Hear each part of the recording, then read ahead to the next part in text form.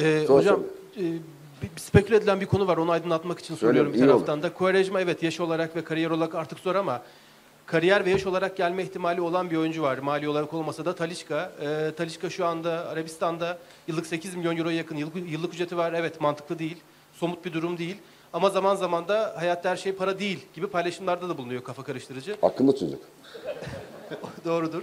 Ee, sizin bir temasınız olur mu? Bununla ilgili planlamanız var mı? Tabii ki bunu mantık ve mali çerçevede soruyorum.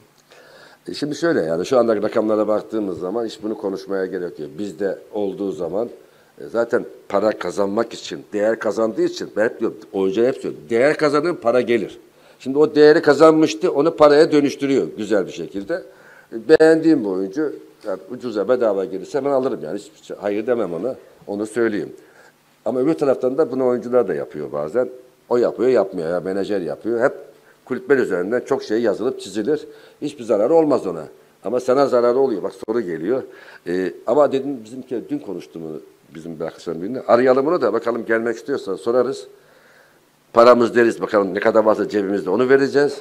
Gelirsen buyur diyeceğiz. Ama gelmezsen de bize yardımcı ol deriz ona. Para yardımı yapsın. Eğer para için gelmeyecekse demek çok para kazanıyor orada. Yok o kadar şu anda öyle bir şey yok bizim. Hızlı bir şekilde hemen alalım. Hocam Artur Masuaku ile ilgili e, fikirlerinizi merak ediyorum. Bir de size biri demiş ya bir futbolcu ben sizin evladın evladınız değilim. Ha, Bunun yok. akıbeti ne oldu ben merak ettim hocam. Yok onu bakmadım. Hani olur yani ben ona gayet normal karşılıyorum. Bak ben öyle bir şeye bakmam. Yani ben oyuncu yani o söylediğinde normal karşılıyorum. Çünkü ondan rahatsız oluyorsa veya o kızgınlığı vardı veya hakikaten öyle olabilir. Çocuklar bazen böyle olur. Bu dedim çok 20 seneden fazla oldu. Yani benim ömrüm biraz uzun olduğu için Allah daha çok versin de çok eskiden oldu. Bunlar olur normaldir. Hangisi? Ha Masuaku pardon. Onu söyleyeyim çünkü o konuda çok yazılıp çizildi. Nasıl? Yok yok daha eski. Ama şey kulüplerde oldu. Şimdi Masuaku ile ilgili diyor, yazılıp şey. Sakatlığından dolayı ama bir baktım maç sayısı da 11. Oynadı oynadı. Bu sakatlığı sebebiyle yani benim dönemde sakat olduğu için şimdi hep soru işareti. Böyle bir oyuncu istemem normalde. Ben Abu Bakar için de aynı şey soru işareti vardı kafamda benim oynadığı zamanlarda. Ama bizim elimizdeki iyi bir oyuncu. Şimdi sağlıklı, izinde var. Yarın gelecek zaten.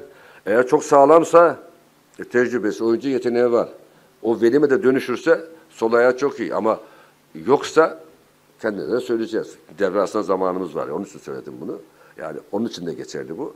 Ama şu andaki baktığın zaman Rossiye'de, Masuaku'da sağ bek, sol bek olarak burada durduğuna göre bunların bu takımda iyi oynaması gerekir. İyi oynamadığı zaman o veya diğerlerinden oyuncuların gitme ihtimali çok yüksek olur. Yoksa e, ben peşinden gitsin demem. Bizim elimizdeki oyuncu ama başka sorunları da var onu. Belki onun için sordunuz onu. Çünkü transferine bağlı olarak sakatlık sorunu var. Onları da değerlendireceğiz. Yani onun için bir tek şey üzerinden karar veremem şu anda. Sadece Ocak ayına kadar elimizdeki oyuncularla değerlendireceğiz. Ha derse ki ben iş git, gitmek istiyorum. Bugün de böyle bir imkan var. Onu ayrıca konuşuruz. Hocam e, Beşiktaş'ın saha içi sorunlarına baktığımızda e, taç atışlarının ve genelde kornerlerin, e, serbest vuruşlar için aynı şeyi söylemeyeceğim ama korner ve taç atışlarının verimli kullanılmadığını görüyoruz. Bu konuda özel bir çalışma yapmayı düşünüyor musunuz? Doğru bir tespit. Yani biz mesela taç atıyoruz, gol yiyoruz veya rakip atıyor tacı çabuk kullanıyorsa geçen bir maçta da biz attık onu da. Ee, bu tabii bir çalışmaya gerektiriyor. Yani bazen oyun tıkandığı zaman duran toplardan bu korner olur, kenar faulleri olur, friki olur, penaltı olur. Önemli yani. Ee, şimdi bizde friki atma bakımından ideal manada çok iyi oyuncu yok. Onu da söyleyeyim yani. Şimdi mesela Masuaku bu duran topları sol ayağıyla iyi kullanabilen bir oyuncu. Korner veya kenar faullerde. Sağ taraftan Gerson şimdi kullanıyor. Kullananlar bazen Redmond da kullanabiliyor.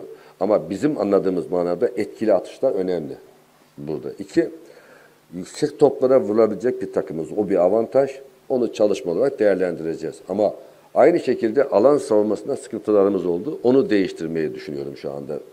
Ki son maçta öyle düşünmüştüm ama maç oynayamadık. Belki değişiklik orada yaparız. Yani hem hücumda hem defansta duran toplar önemli. O da bizim aklımızda. Başka sorusu olan var mı? Gazetesinden bir soru geldi. O zaman buyurun son soruyu. Sor Elim ama aslında atmış. Bu Dünya Kupası'nda olmamak Şenol Hoca'nın içinde bir burukluk yaratıyor mu diyor. Çünkü lider hayal kırıklığı tabii. Onu sorarsanız ona şunu söyleyeyim. Benim hayalimdeki e, bir insan hayalindeki en önemli e, olay nedir dediğiniz zaman o benim için geçerli yani. Çünkü Dünya Kupası'na ben daha önce de söyledim. Söylediklerimi yapmayı isterim. Hayalim öyleydi. E, Dünya Kupası'na gitmekti. Kasım ayından da itibaren oraya daha başka bir hoca gelip Türk futbolun yapılanmasını düşüncem vardı. Aslında benim düşüncem oydu. Ee, yani kulüp takımı çalışmak yerine bu futbolun yapı, kulüpler yapısı, işte e, altyapılar, organizasyonlar, e, eğitim sisteminin de değişmesi gerekiyor. Çünkü futbolun gelişmesi için bugünkü eğitim sistemi de izin vermez ona. Çünkü çocuklarımızın okullarına gittiği bir dönemde onlara zaman da bulunur. Böyle bir projem vardı. Onların hepsini düşünüyordum. Çok da güzel olacağını düşünüyorum. Hem sonuç alacaktık hem ikinci defa Dünya Kupası'na katılmış olacaktım kendim için, bizim için de uzun yıllardan sonra. Böyle bir şeyin sonucu olarak olumsuz olmasının hayal kırıklığı, üzüntüsü olmaz mı yani? Çok büyük etkisi var ama bunu yenip aşmaktır asıl olan önemli. Yani insan bir annesini, babasını, yakınını kaybetmesi ne kadar acıdır. Bu da öyle bir acı bu. Ama hayatta devam ediyor. Siz yeniden bir şeyler yapabilmeniz gerekiyor. Hep, hepimiz, için, hepimiz için geçerli.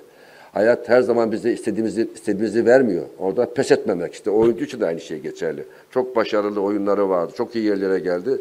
Bir düşüş yaşıyor. Onu kısa tutabilmek için uğraşacak. Ona destek vereceğiz. Aynı şey benim için de geçerli. Tedavisi yeniden başlamak, yeni başarılar elde etmek. Gecelerden hoşlanmayan bir güneş var. Geceleri arkada bırakıp gündüz aydınlığına kavuşacağız inşallah.